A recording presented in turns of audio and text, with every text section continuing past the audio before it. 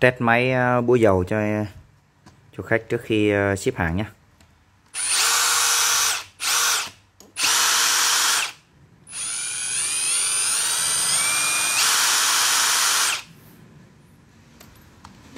búa dầu này hiện tại giá khá là tốt dành cho những anh em nào mà chuyên bên mộc thì phù hợp để anh em sử dụng con búa dầu nhé nó có ờ, 4 cấp chỉnh, số 1 số 2 số 3 và cấp chỉnh auto kèm theo là ngầm vít hai đầu. Bảo hành à, 12 tháng.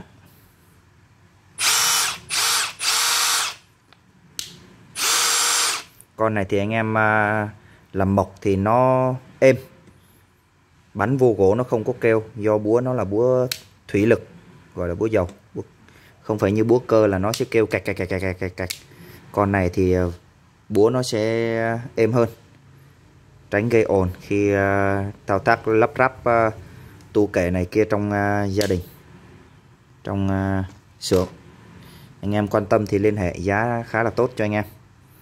Con này là em ship đi cho khách nhé rồi cảm ơn anh em đã xem video. Búa dầu Milwaukee. Giá thơm.